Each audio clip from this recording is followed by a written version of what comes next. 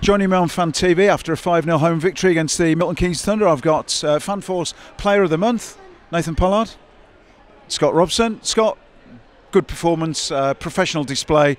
Um, I, I, would have thought, though Slava's not here, it would be just what he would have expected from the team. Uh, yeah, we I mean we had a job to do tonight, and it's a, it's a big weekend for us to bounce back after the past couple of weeks. Um, I thought it was a professional job tonight. Maybe we could have uh, tightened up defensively a little bit, but everyone uh, battled through, and Marzi stood on his head when we needed to, and it's just a good overall performance in the end. Uh, Nathan, I thought that uh, the, lads played with a bit of freedom in the first couple of couple of periods. Really, there was some nice moves, some good good. Uh, certainly from the top line, there was uh, the the production came from them, and you must be pleased with the amount of time you got yourself, and a couple of chances just went begging.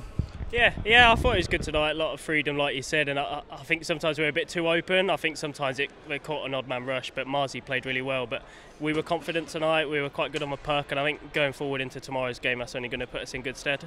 These games are banana skins in a way. Uh, people would come in, in anticipation. It was a great performance here against London last Sunday, and people come tonight expecting us to win and expecting us to win tomorrow night. But over the last couple of seasons, the odd point goes amiss, and uh, I think the, the the top of the league is so tight we can't afford for that to be the case, Scott. Yeah, I mean, when we're sitting top of the league, we're going to have teams come into our barn and work hard and want to put us under pressure a little bit. Um, but it's it's down to us. It's down to the guys in the room that no matter who we play against, if we battle for 60 minutes and work hard, we're going to get a result. A couple of things before we wind up. Uh, uh, I'm sure you were surprised, but it's a, a real kind of honour in front of the crowd to get awarded a Player of the Month trophy. Yeah, yeah, it's really nice. I thought it was a really good December for us, winning a trophy, and I think we had some good wins in there. And it's nice to be recognised, but sort of the whole team has been unbelievable in December. Uh, and Scott, we want to come to you because every time we do the commentary, we, we know that you're a, a D man, but we always talk on the commentary about whether you go to bed at night dreaming of being a forward because you really do play as advanced as anyone. I, I wonder whether you, you secretly have that, that kind of little word with the, the staff here going, you know, you want to play up front.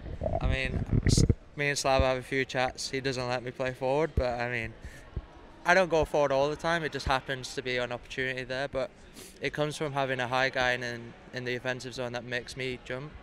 But I mean, the way we play defensively, we all skate, we all move the puck, and there's a lot of D this year. I think Polly would agree with me that joins the play, makes things happen. But I mean, I'm just trying to copy my uh, idol Picker.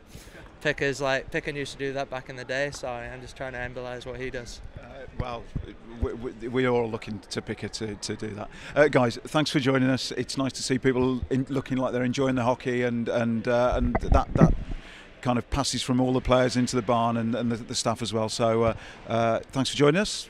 We'll see you next week. Streatham at home. See you next time.